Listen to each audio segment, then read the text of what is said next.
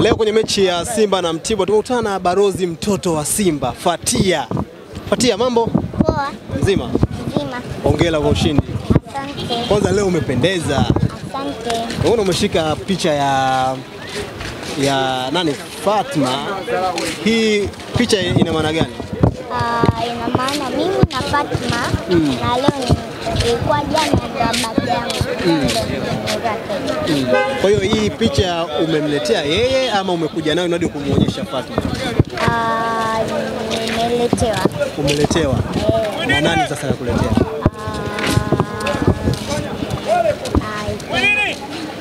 it was a surprise. Hiyo ni surprise. Sasa hiyo surprise ndio nataka tujue sasa yatoka kwa nani? A secret song. they must not know. Yeah. Leo mechi mmeshinda Simba, mmeibuka na ushindi wa mabao matano. Unaizungumziaje kwanza mechi ya leo fuatia? Mm. Mm, labda ni mchezaji gani ambaye leo amekukosha sana? Mm. Mm other players. Pia na Bernard. Sasa hivi ni balozi wa Simba Fatia, na ukiwa ni mmoja kati ya mtoto mdogo sana. Wapo mashabiki wa Simba ambao wapo mashabiki wa, wa, wa, watoto lakini wengi wao bado hawaja- hawaja- hawajaikubali Simba sana. Wewe kama Fatia unaweza kuwashawishi vipi na wale waliopo labda wanashabikia timu nyingine uwalete huko Simba? Ah, Nashawishi wapende Simba sana. Pia naambia Simba ni the best team ever never seen in this world. Nimekuona huko juzi jana na Fatma, lakini pia na Babra, unaongea naye wale huwa wanakuambia nini hasa unapokuwa nao, kwa sababu ni moja kati ya mwanamke mwenzao japokuwa ni mtoto.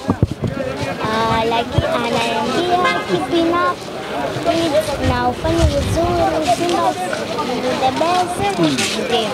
Wewe ukikuwa mkubwa unapenda uje kufanya kazi Simba? Ndio. Kazi gani ambayo unapenda sana uje kufanya Simba? Sio. Sio. Unataka uje kuchukua nafasi ya Babra? Yeah. Eh. Eh. Kwa nini kwa nini sio? Unataka kuwa msemaji? Kwa nini? Nataka kuwa mbaba maana yake yeye yeye anashauri vizuri tu. Nafasi ya Haji itaki. unaongea vizuri lakini hata kama kama Haji Eh. Sasa kuelekea eh, Simba kwenye mechi za robo fainali, unaiangaliaje Simba kuhusiana na kwenda kucheza robo fainali michuano ya klabu bingwa? Ah, nasemea tutashinda Mtashinda kombe ama mtashinda nini? kombe. Mtashinda nini? Mtachukua ubingwa? Kwa nini ufatia unasema mtachukua ubingwa? Magufuli. Kwa hiyo Simba ikichukua ubingwa na wewe utaenda Chato, utalipeleka. Na nini cha kuzungumza mara baada ya mchezo? Ah, hii, hii sisi ndio ambayo wanasimba wote tuna yani tunatarajia kuwa hivi, ili mradi hata wale watu ambao wanasema kwamba sisi tunanunua mechi waone mzunguko wa pili umefika. Wao mechi zao wakicheza wanapata tabu, kwa sababu mzunguko wa pili kuna mambo mengi. Kuna timu inataka ifike japo nafasi ya tano na kuna timu inajinusuru na kushuka daraja. Sasa hizo zote wanazokutana nao kwa wao mechi zinakuwa ngumu, ndio maana toka mzunguko wa pili umeanza wao wanapata tabu. Ina maana Simba hii sasa tunaonyesha kwamba sisi tulikuwa hatununui mechi. Ina maana kila anayekuja hii Simba ya klabu bingwa, kila atakayekuja kupata matokeo kama haya itakuwa ni kawaida kwake. Labda una nini sasa cha kuwaeleza wapinzani wenu ba, mara baada ya ushindi huu? Sasa manake nyinyi mlikuwa mna michezo labda tuseme viporo Ah, wajue kwamba tunakuja, wao wako juu pale, lakini Mpogolo Mpogolo amesema mlungu shibidu wakunai kauya pasi wapasi kauya kunai. Mungu anageuka, wajuu anakuja chini, wa chini anapanda juu. Tumeona klabu bingwa kule, wajuu yule aliotarajiwa kuwa juu amekuja chini na wa chini tumeenda juu kwenye klabu bingwa. Kwa hiyo na hii muda si mrefu tutapata hapo, wa- tutakuwa sisi tuko juu. Kwa hiyo wajue tu kwamba mlungu pakatali, wakili wandu mlungu pakatali binadamu sio wa kuwachezea mm. tuseme safari ya ubingwa sasa imeanza rasmi. hii bila wasiwasi tutachukua ubingwa. Niliwahi kusema kwamba Simba tutachukua ubingwa huu tukizidi pointi kumi.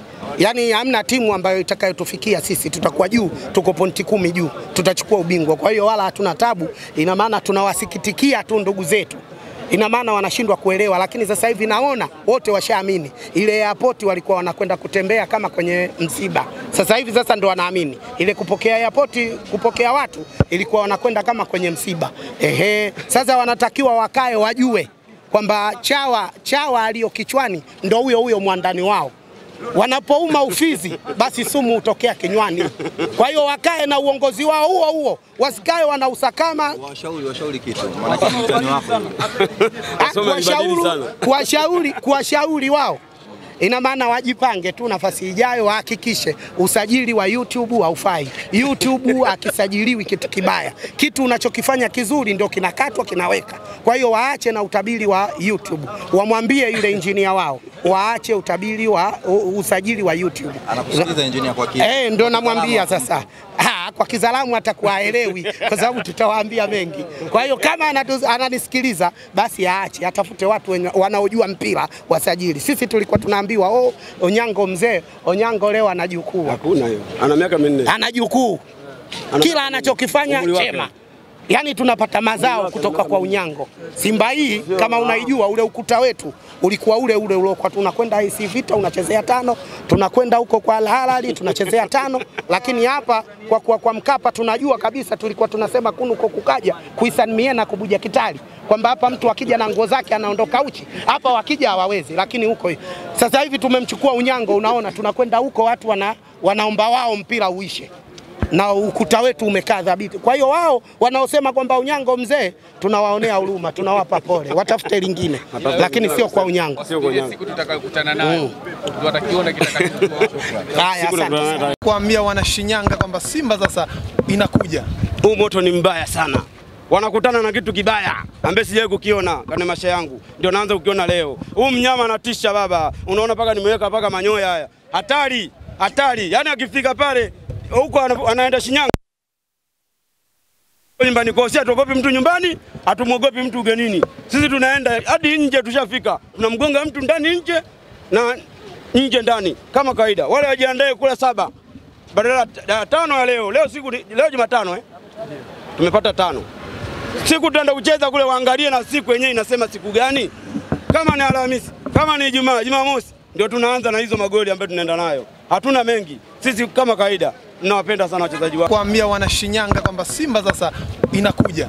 huu moto ni mbaya sana. Wanakutana na kitu kibaya ambaye sijawahi kukiona kwenye maisha yangu, ndio naanza kukiona leo. Huu mnyama anatisha baba, unaona paka nimeweka paka manyoya haya, hatari hatari. Yani akifika pale huko anaenda Shinyanga